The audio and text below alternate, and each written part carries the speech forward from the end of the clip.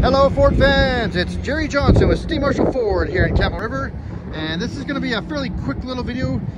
This video is just to showcase the color of this beautiful 2022 Ford Escape. This is the SE trim level in that brand new, absolutely gorgeous stone blue metallic. So this is stone blue metallic for all you buyers out there that are trying to shop for vehicles and uh, you're unable to see the vehicles live on the lots as there's quite the shortage going on right now majority you majority of you are all buying incoming units and just haven't been able to lay your eyes on this color yet. So I'm gonna take you for a little walk around. Right now I got some sunshine here in Campbell River, British Columbia.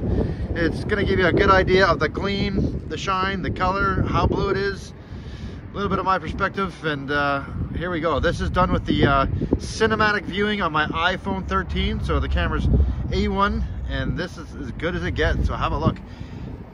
It's, it's a fairly darkish gray, almost a teeny little bit of greenish in there. But um,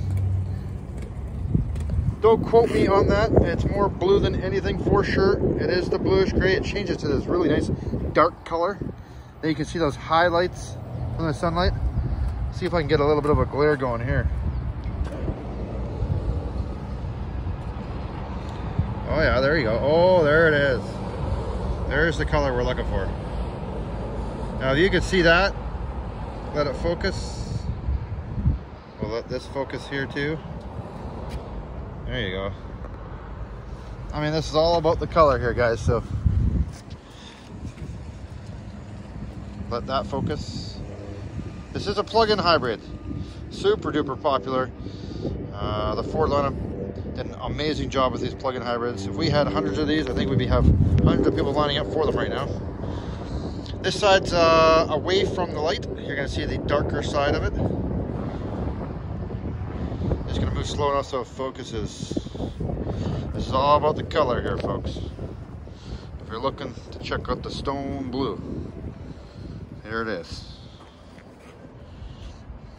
It's a beautiful color, classy. Not too dark, not too light. Shows up great in the light. On this side, it almost looks grayish. But uh, there it is. We'll do a little focus off the back here.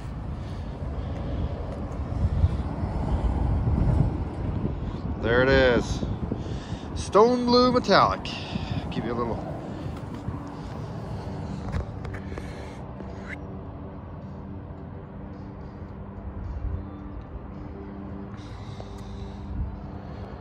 In case you're wondering, it is a 2022 SE PHEV, front wheel drive, five passenger with the CVT.